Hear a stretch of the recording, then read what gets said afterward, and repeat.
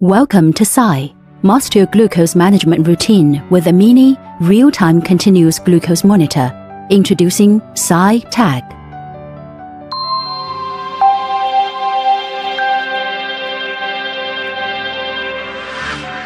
Now, let me walk you through these very simple steps of wearing a tag. Your Syai Glucose Monitor Kit comes with a packaged applicator and a user manual. Please read the user manual carefully before unpacking the product. Take out the applicator from its packaging and be noted, the glucose monitor is already packed inside the applicator. You will need the applicator to apply the monitor to your body application site. Before application, wash your hands thoroughly with soap and water.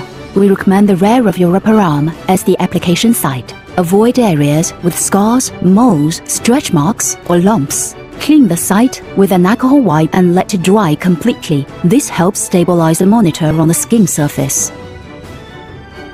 Remove the bottom cover of the applicator by rotating it counterclockwise. Break off the safety structure. Be aware not to press down the button under the safety structure yet. Place the applicator firmly against the chosen application site. Press the button on the top to insert the monitor, and then gently pull away the applicator. The monitor should now be attached to the skin. Gently press the tape around the edge of the monitor to attach it firmly to the skin. An overpatch is bundled with your instructions in the box.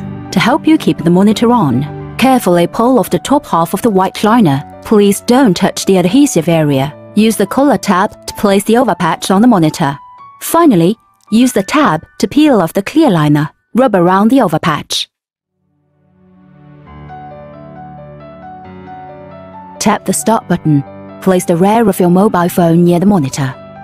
Wait for NFC to activate the monitor. You may need to adjust the position of the mobile phone to make sure your phone NFC is right next to the monitor. Wait for Bluetooth to connect. Now your monitor has been activated. It will take 30 minutes to warm up and you will receive a notification on your phone once it's ready.